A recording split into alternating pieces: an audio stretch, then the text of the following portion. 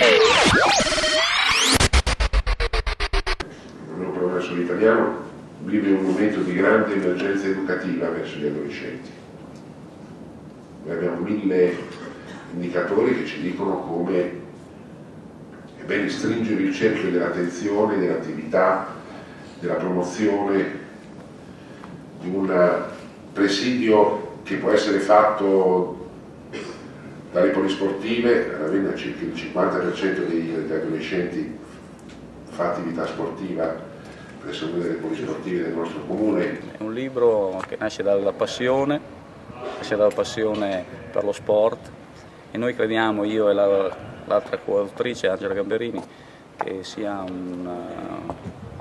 lo sport un veicolo per poter diciamo così, portare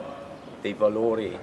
che prescindono appunto dal, dallo sport, valori educativi molto importanti. Questo libro parla appunto dell'educazione che però può andare a pari passo con il discorso prestativo. Questa cosa si può fare, non è semplice ma si può fare, si può fare soprattutto se eh, riusciremo a coinvolgere le associazioni sportive, eh, dunque le dirigenze,